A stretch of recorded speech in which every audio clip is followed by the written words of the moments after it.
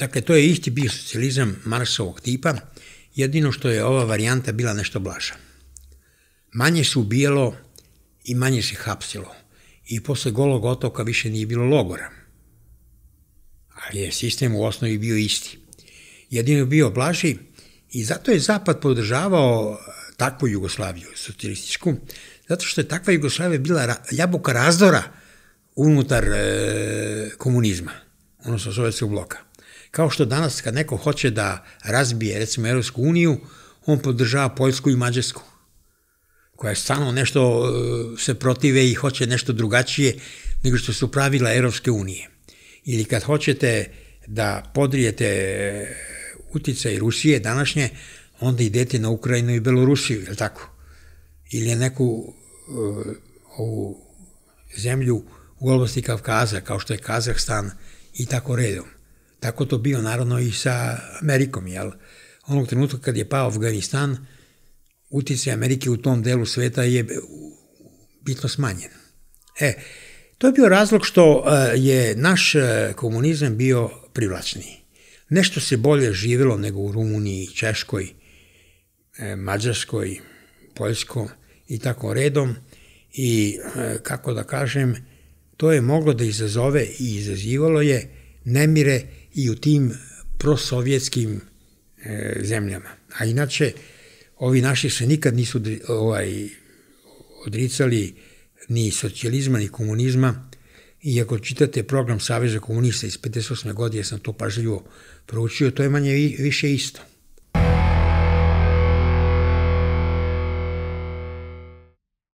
Kad je u pitanju Đurić, tu su Marko Nikizić i Latinka Perović nažalost popustili. I jednom za svakda sebe vo vijeki vijekov osramotili. Kako mislite to popustili? Pa Tito je zahtevao da oni njega ovaj, izvedu na sud, dakle, da tome odlučuje partija, i da ga upute u zatvor. I oni su na to pristali. Nisu oni to hteli, nego su morali, ukoliko su hteli da ostanu na položaju. I dan danas eh, Latinka Perović tvrdi da je Đurić otišao u zatvoru kod ona više, već nije bila na položaju. Pa, on je otišao u zatvoru, u zatvoru zato što je pre toga bio osuđen. Tako da odlazak u zatvor bio samo posljedica prethodne osu, ovaj osude kad je ona bila na vlasti. Ali pustite nju, ona je u stanju i, i da govore ono što nije tačno. Dakle, Nikizić je na to pristao i Latinka Perović. Oni su dali nalog Udbi, Udba dala nalog tužiocu, tužilac je podigao optužnicu za bio na tom suđenju, video se već kako to sve ide. I Đurić je osuđen e, bio, ja mislim, na dve godine zatvora, kasnije je ta kazna smanjena na 9 meseci. I on je tu kaznu odležao. Te kasnije sam ja saznao da je ovaj, Marko Nikizić pokušao, kad je već pao s položaja, to sam napisao i u svojoj knjizi Anatomije nečistke, da preko sudija nešto izvede, pa da ta kazna bude uslovna, ali nije uspeo. Jer kad nemate autoritet, a vama autoritet daje položaj, a ne znanje i moralna vrlina. Onda kad izgubite položaj vi nemate ništa od autoriteta. I zato ga sudije nisu poslušale, nego su zadržale tu kaznu i Đurić je bio čovek koji svih devet meseci odležao u pozrevačkoj zabeli. To je zaista bilo strašno, a mi ostali, tako smo tu se sna, održavali koliko smo mogli, jedan broj kolega, koji nije mogao to psihološki da podnese.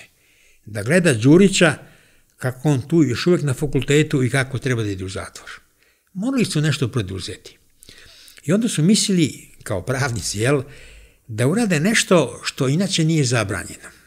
Dakle, po zakonu e, o krivičnom postupku je bilo, bila predviđena mogućnost da obična lica Dakle, ne samo optuženi i osuđeni ili član njegove porodice, nego i drugi ljudi koji su mu prijatelji, poznanice dalje, mogu da podnesu, pazite, predlog a, javnom tužiocu da pokrene postupak neki za preispitivanje i tako dalje, i oni su to učinili. Dakle, inače što je zakonom dozvoljeno, ali ti najpogadniji ljudi na fakultetu, među njima je bio Momčilo Kurdulija, su smatrali da se time ruši autoritet partije – koja ima pravo da kažnjava. I niko tu ne sme taka, taj njen autoritet da sporava. I oni su krenuli da progone ove ljude koji su branili Đurića.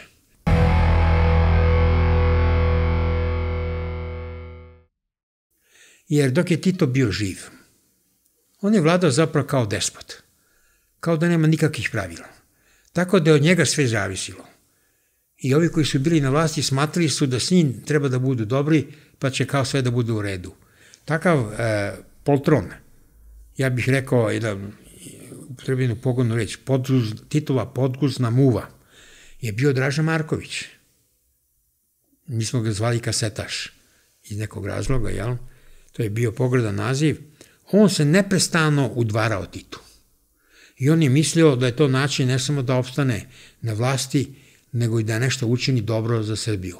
Koliko je to bilo dobro, videlo se kad je Tito umro, da je zapravo Srbija, zahvaljujući tim ustavima iz 70. godine, podeljena na tri jedinice. Na dve pokrajine i užu Srbiju. I da su ove dve pokrajine zapravo držale ključ ustava cele Srbije. A da su poslanici iz obeju pokrajina glasali u Republičkoj skupštini zajedno sa ovima iz e, uže Srbije o svim zakonima koji su primjenjivali samo u užoj Srbiji. Dakle, ovi iz pokrajina su glasili o zakon, zakonima koji su primjenjivali u Srbiji, ali nije bilo obrnute o, moći, jel, same uže Srbije u odnosu na pokrajinu. pokrajinu. Dakle, to je bilo užasno. A onda se kasnije videlo, to se vrlo brzo videlo posle Titove smrti, da taj sistem ne može da bude delotvoran jer se za svako važnije pitanje zahtevala jednoglasnost svih republika i pokrajina, koja se neko vreme postizala tako što je u oči svakog zasedanja Savezne skupštine držan sastanak centralnog komiteta, gde se nekako isposlovalo da se nešto prihvati ili ne prihvati, narešto budžet, i tu je vojska bila vrlo uporna ili zahtevala za sebe velike pare, iako je zemlja bila u velikoj ekonomskoj krizi, a onda jednog trenutka se sama partija raspala. Više nije bilo centra komiteta. I više nije imao ko da politički upravlja Jugoslavijom. Došlo je do potpunog rasula.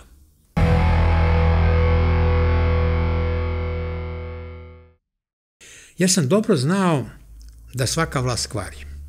Ili kako je to Lord Acton govorio, svaka vlast kvari, a apsolutna vlast kvari apsolutno. S tim što je on to malo relativisao tako što upotrebe izraz tend to corrupt. Dakle, teži da kvari. Dakle, ne u svakoj prilici, nego po pravilu e, kvarija može da bude naravno izuzetaka. Onda sam iz ponašanja Mićunovića, Zorana Đinđića, a nažalost i Vojislava Koštunice, shvatio da može da kvari ne samo vršenje vlasti, nego i sama blizina vlasti. Dakle, kad vi napravite stranku koja ima izgleda da bude velika i da nešto kasnije bude, dakle da dođe i na vlast, onda ljudi to razaberu kao mogućnost da i oni u tome nešto dobiju, jel? pa se već tada bore za položaj u stranci, iako stranka nije na vlasti. I tada je do mene došla ovaj vest da je jedan od mojih prijatelja otplike izjavio da ukoliko bi Kosta Čavoški postao predsjednik stranke, da a on je sposoban i jako uporan, teško bi ga mogli da maknemo, a kad, ako bi Mićuna za to postavili ko je nesposoban i lenčuga, što je uvek bilo tačno i brzo se ispostavilo, njega je Zoran Đinjić leom nogom svrgao sa položaja predsjednika stranke, onda će to biti mnogo lakše.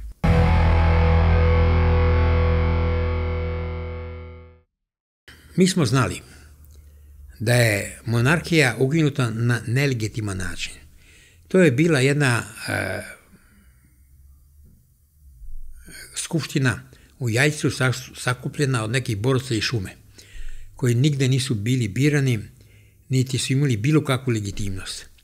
I oni su doneli odluku, to je odluka drugog javnoja, da se kralju zabrani povratak u zemlju. Jel?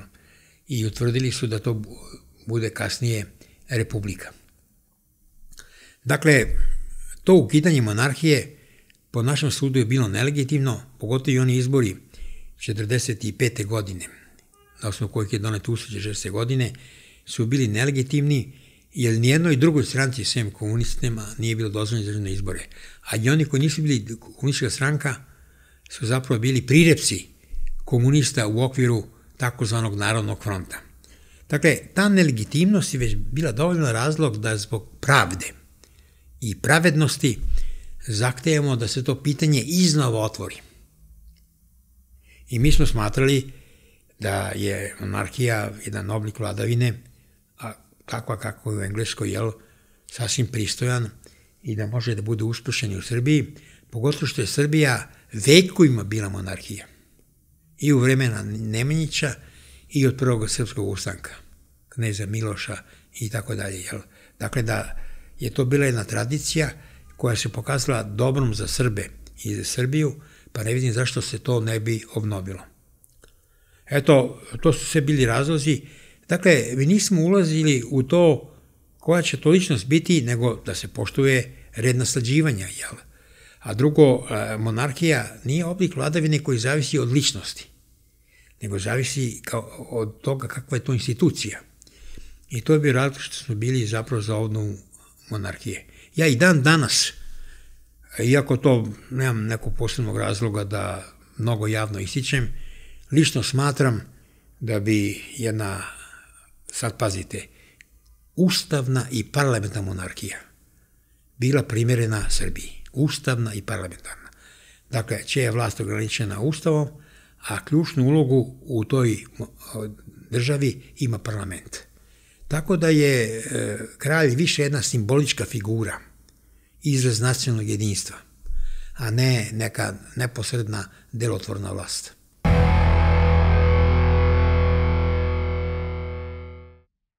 Kad je u pitanju Draža Mihajlović, e, očigledno je da je tu učinjena strašna nepravda. Draža Mihalović je bio eh, komandant Jugoslovenske vojske u otačbini. I on je mnogo pre partizana počeo da se skuplja sa Nemcima. Partizani su krenuli u rat tek po nalogu iz Moskve, kada Hitler napao eh, Sovjetski savez. Pre toga, ako pratite, ja sam pratio tadašnje političke listove i tako dalje, oni nisu imali ništa protiv sporozuma Molotov-Ribbentrop. Čak su optuživali zapadne sigle da, ne znam, vode neku lošu politiku, jel, i prema Nemačkoj. Pa je to razlog da su napadnuti. Francuska i Engleska i tako dalje, jel. Dakle, to je bila politika koja nije bila ni jugoslovenska, ni srpska, nego prosovjetska.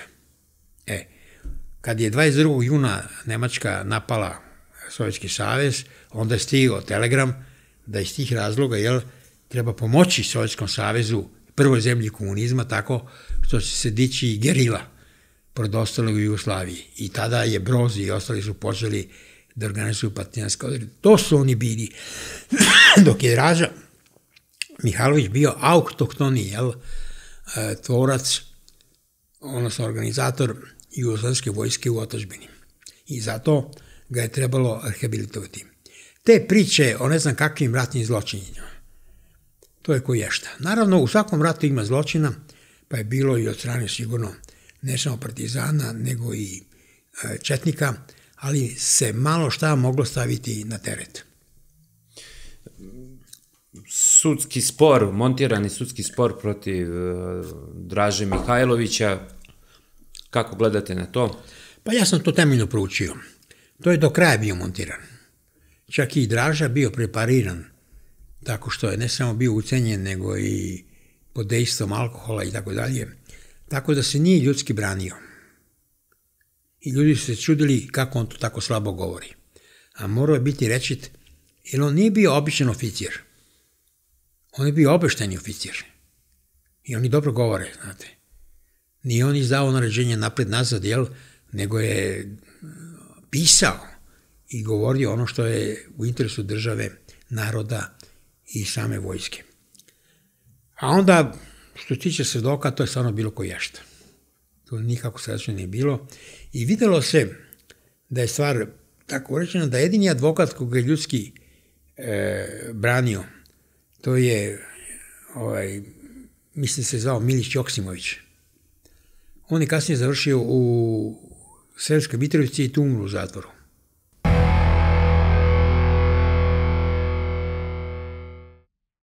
Taj sud je izrugivanje pravu i pravdi.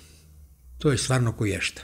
Znate, i e, problem u tome što e, većina ljudi ne analizira kako su taj sud presuđuje, nego analizira samo njegove ciljeve i eventualno pravila.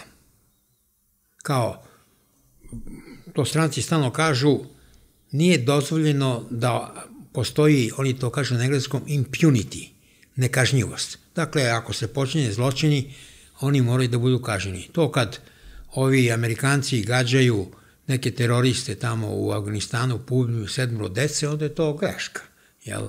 I za koji se vi možete izviniti, ali nećete odgovarati, a kad to neko drugi uradi, onda treba naravno da odgovaram.